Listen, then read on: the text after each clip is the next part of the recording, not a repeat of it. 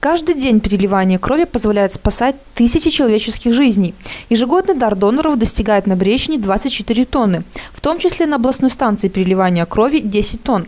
Необходимость в донорах и продуктах крови возрастает с каждым годом.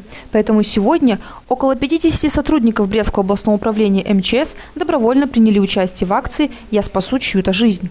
Многие спасатели стали донорами впервые. Большинство из них сошлись во мнении, что донорство равноценно слову «спасение». И это благородное дело должно быть продолжено. Мне когда сказали, что надо пойти и помочь людям, я, естественно, как, как сотрудник МЧС, как гражданин э, ответственный нашей страны, пришел здесь, и я надеюсь, что сданная мной кровь спасет, может быть, чью-то жизнь, мне это будет очень приятно. Перед началом процедуры обязательный осмотр и беседа с доктором. Только после того, как врач убедится, что потенциальный донор полностью здоров, он может сдавать кровь. Ведь здоровье донора – это не только его личный капитал, это еще надежда и здоровье других. Несомненно, это благородная акция. И э, это всегда было благородным поступком. Ну а спасение жизни людей, в принципе, это наша профессия, наш долг.